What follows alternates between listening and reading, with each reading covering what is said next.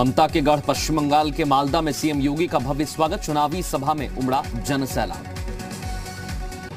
मालदा की रैली में ममता बनर्जी पर सीएम योगी का वार, कहा मोहर्रम, दुर्गा पूजा में भेद करती है बंगाल सरकार, गुंडों को मिलता है संरक्षण प्रधानमंत्री मोदी ने किया मैरीटाइम इंडिया समिट 2021 का उद्घाटन।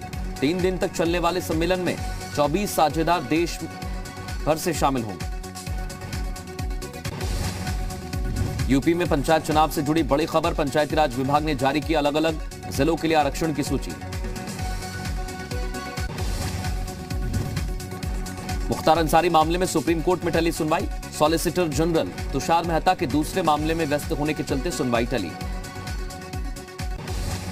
उत्तर प्रदेश विधानसभा में सदन की कार्यवाही शुरू होते ही हंगामा, विधायकों और नेताओं पर मुकदमे वापसी को लेकर सदन में हंगामा।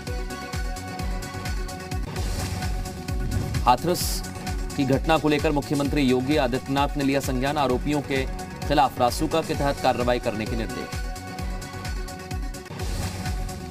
कानपुर देहात में हुआ बड़ा सड़क हादसा, छह मजदूरों की मौत, आठ घायल, ओवरलोड ट्राला पलटने से हादसा। यूपी में परिषदीय स्कूल में इस साल नहीं होंगी परीक्षा। योगी सरकार का फैसला, कक्षा एक से आठ तक के छात्र असेसमेंट के ज़रिए किए जाएँगे प्रमोट उत्तर प्रदेश में सरकार एडेड जूनियर हाई स्कूलों में प्रधान अध्यापक और सहायक अध्यापकों की भर्ती करेगी। ग्रेटर नोएडा के बादलपुर क्षेत्र में अच्छेजा गाँव में एक भाई ने अपनी बहन से बात करने पर एक युवक की चाकू से गोदकर हत्या की आरोपी गिरफ़्तार। गौतम बुद्ध नगर पुलिस ने एक शातिर चोर को गिरफ़्तार किया। चोर के पास से चोरी के कई जेवरात बरामद। आगरा में चोरों ने कई दुकानों को अपना निशाना बनाया। दुकानों से नकदी और सामान चुराकर फरार हुए संभल ज़िले के डीएम ने सरकारी अफसर और कर्मचारियों के जीन्स टी शर्ट पहनने पर रोक लगा दिए समय पर ऑफ़िस आने के भी निर्देश दिए। बहराइच में मेडिकल कॉलेज के इमरजेंसी वार्ड के बाहर किराए के पैसे को लेकर विवाद में ई रिक्शा चालक की पिटाई। युवकों ने लाख घूसों से बुरी तरह पीटा। ग्रेटर नोएडा पुलिस ने लूट हत्या, दुष्कर्म के केस में फरार इनामी बदमाश। हरिशंकर को मुठभेड़ के बाद गिरफ़्तार किया। मेरठ में देर रात पुलिस और बदमाशों के बीच मुठभेड़। छह लोगों को किया गया गिरफ़्तार, सभी पर गौकशी करने का आरोप। अमेठी में इंटरकास्ट शादी को लेकर नाराज़ लड़की के घर वालों ने अपनी ही दामाद को मौत की घाट उतारा। छह साल पहले मृतक ने की थी शादी। लखनऊ में बदमाशों ने असलहे के बल पर कुरियर कंपनी के कर्मचारी को बंधक बनाकर की डकैती, सात से आठ बदमाशों ने दिया वारदात को अंजाम। सिद्धार्थनगर में बीजेपी सांसद जगदम्बिका पाल ने राम मंदिर निर्माण के लिए समर्पण निधि कार्यक्रम का आयोजन किया, मौके पर 25 लाख रुपए का चंदा इकट्ठा किया। लखनऊ में महँगाई को लेकर एसपी नेताओं का प्रदर्शन, केसरबाग इलाके में किया गया प्रदर्शन।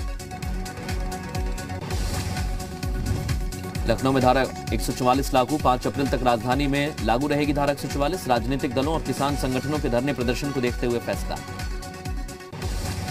योगी सरकार अयोध्या की तर्ज पर चौदह शहरों का करेगी विकास। ऐतिहासिक और धार्मिक महत्व वाले स्थान पर होगा फोकस।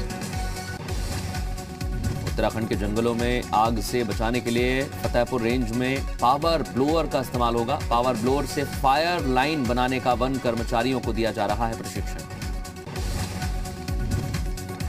शाहजहां से लखनऊ आ रही इंडिगो की फ़्लाइट की कराची में इमरजेंसी लैंडिंग। यात्री की तबीयत बिगड़ने की वजह से लैंडिंग नहीं बचाई जा सकी यात्री की जान। किसान आंदोलन के बीच गाजियाबाद के लिए अच्छी खबर, दिल्ली से जाने के लिए गाजीपुर बॉर्डर का रास्ता खुला, पिछले करीब दो महीने से था बंद। केंद्रीय स्वास्थ्य मंत्री हर्षवर्धन ने लगवाया कोरोना का टीका, हर्षवर्धन की पत्नी ने भी ली कोरोना की वैक्सीन। 11 मार्च को हरिद्वार में महाशिवरात्रि का स्नान, पुलिस मुख्यालय के प्रवक्ता ने कहा 12 कंपनी पीएससी की तैनात। अक्टूबर 2020 में हुए मुंबई ब्लैकआउट के पीछे चीन की साजिश, अमेरिका में न्यूयॉर्क टाइम्स का दावा। चीन ने सीरम इंस्टीट्यूट, भारत बायोटेक पर साइबर हमले के आरोप को बताया गैर जिम्मेदाराना। न्यूयॉर्क टाइम्स के आरोपों को नकारा।